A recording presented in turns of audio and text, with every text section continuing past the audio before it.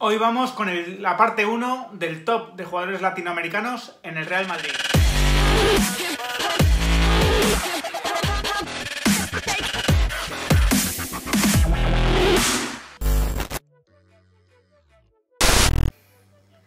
Muy buenas a todos. Bueno, vamos a terminar esta trilogía, estas tres partes.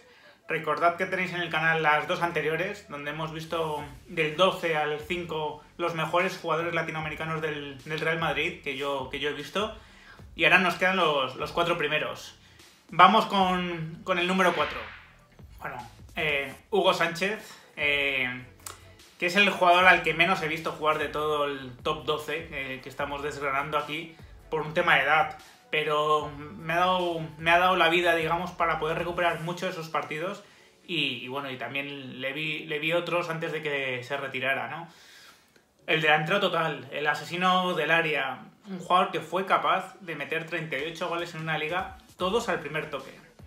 La dificultad técnica de eso es, es increíble, ¿no? Cuando la mayoría de jugadores necesitan controlar y colocarse el balón antes de disparar, eh, Hugo Sánchez consiguió 38 goles al primer toque. Un, rematador, pues, sideral, daba igual cómo viniese el balón, si le tenía que dar de chilena, le daba de chilena. Esas celebraciones también, pues haciendo la voltereta. Bueno, pues un jugador total que era el complemento perfecto para la quinta del buitre. La quinta del buitre era muy artesanal, muy espectacular, muy creativa, pero la quinta del buitre necesitaba a alguien que aprovechase todo el caudal ofensivo que, generaban, ¿no? Y, nadie mejor que Hugo Sánchez para, digamos, poner la rúbrica a tantas buenas jugadas que, hacía ese equipo. Fueron temporadas muy intensas las de Hugo. Hubo momentos donde parecía que se podía ir antes de tiempo por dificultades en, en las renovaciones. Pero bueno, finalmente mm, yo creo que completó una trayectoria en el Real Madrid impresionante, que le colocan para mí con toda justicia en, en este puesto número 4. Y bueno, si hubiese llegado la famosa Copa de Europa, probablemente tendría incluso un puesto mejor, ¿no? Número 3. Marcelo. Aquí cada vez se ponían más complicadas las cosas a la hora de elegir. Veréis los dos primeros, ¿no? Que, que yo creo que están con merecimiento en ese puesto. Marcelo para mí ha, sido hasta hace un par de años el mejor lateral izquierdo del mundo, sin ninguna duda. Un jugador, de hecho, que cambió la posición.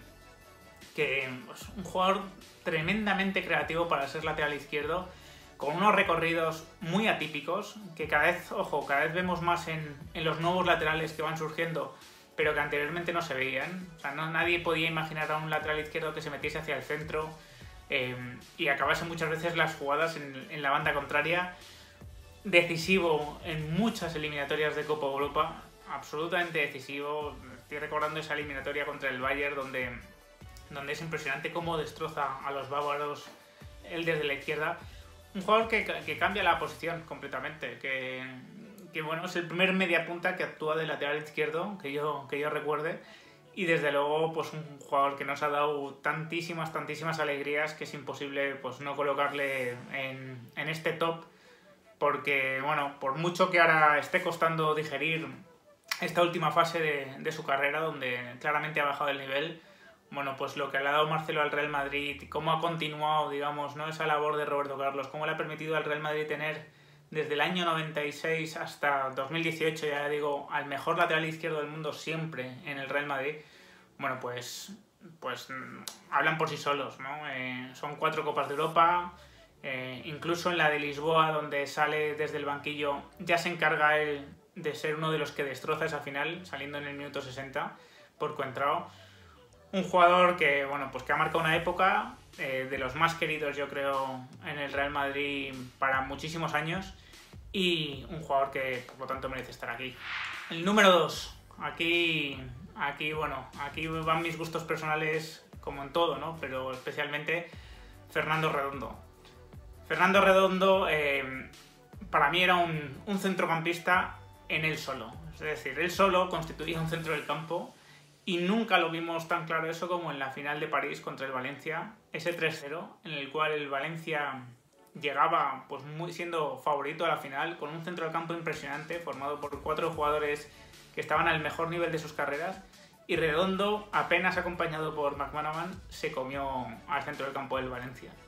Pero es que de Redondo tenemos muchísimas imágenes, ¿no? Eh, el famoso gol de Raúl en Manchester, que siempre será el gol de Redondo por la jugada que hizo eh, en la banda izquierda de Old Trafford, esa eliminatoria contra el Borussia de Dortmund en la séptima semifinales, en la vuelta en Alemania, donde bueno, pues el Real Madrid iba sin hierro, iba preocupado por defender un resultado 2-0 que no era tan largo ¿no? Eh, como ante un equipo tan bueno como el Borussia Dortmund y como Redondo, bueno, pues se hizo el dueño del partido desde el centro del campo, cómo dormía el balón, cómo era imposible arrebatárselo.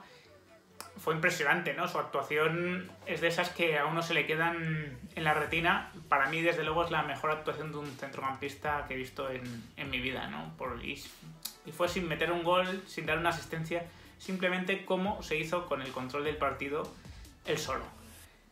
Son muchas las imágenes que, que, nos deja redondo, lógicamente. Eh, su salida fue sumamente dolorosa para, para, el madridismo, porque bueno, pues era un jugador muy querido, que estaba en el punto álgido de su carrera con 32 años y que bueno, pues dejó paso, digamos, a la siguiente generación eh, pues de, los, de los galácticos, que tampoco nos fue nada mal eh, con ellos, y al pobre Redondo le fue mal en Milán. Pero un jugador, pues para mí, eso, merecedor de ese puesto número 2 en, en, mi lista, sin ninguna duda. Y vamos con el 1, que ya no va a ser ninguna sorpresa para nadie, no puede ser otro que Roberto Carlos. Para mí es que Roberto Carlos es directamente el mejor lateral de la historia. Directamente, o sea, simplificaría con eso. Es un jugador que llegó en el 96, un robo de mercado absoluto, porque, porque el Inter de Milán pues, lo estaba utilizando de extremo, pero fue muy listo Capello y vio que era un jugador que le podía servir perfectamente para el lateral. Y las pequeñas limitaciones que pudiese tener como extremo de lateral no existían en absoluto. Roberto Carlos tenía el espacio suficiente siempre para aprovechar esa carrera portentosa que tenía y bueno, y el físico que tenía, esa resistencia, esa velocidad, le permitían eh, recuperar en defensa una velocidad pues que nos emocionaba, ¿no? Eh, qué famosas eran las carreras de Roberto Carlos para arriba, pero también para abajo, ¿no? Recuperando un balón que parecía imposible de recuperar. Un jugador que, mm, bueno, pues que si decíamos antes que Marcelo cambió la posición por esos, ¿no? Esos recorridos que hacía Marcelo, esa, esa labor de media punta desde la banda izquierda, pues Roberto Carlos lo que hizo directamente es que la posición del lateral se convirtiese en posición de carrilero. Antes los laterales eran jugadores que, bueno, pues que eran mucho, que, bueno, pues que eran mucho más prudentes a la hora de, subir, guardaban mucho más la posición. Con Roberto Carlos eso se fue al garete, digamos, ¿no? Era un jugador de 80 metros, que jugaba en 80 metros, que, que tenía un disparo pues impresionante. Anda que no hemos visto goles de falta pues desde distancias larguísimas. Eh, con ese golpeo que tenía con el exterior, me estoy acordando de la falta que le metió a Francia con Brasil, o muchas faltas que metió con el Real Madrid, con, con ese exterior, con esos tres dedos de fuera, cómo le pegaba. Y después que un jugador que fue decisivo en un tramo del Real Madrid muy importante, el de las tres Copas de Europa, donde, bueno, pues sin duda era uno de los activos fundamentales del equipo. Ya digo, para mí, el mejor lateral de la historia, el mejor lateral de la historia no puede dejar de estar en el top del Real Madrid. Yo le coloco en el 1 porque además tuvo una carrera muy longeva en el Real Madrid, porque incluso hasta cuando ya el físico se había, le había abandonado un poco, pues nos dejó ese gol contra el Recreativo Huelva que ayudó tanto para ganar la liga del, del Club Ardiendo, la última temporada que estuvo Roberto Carlos.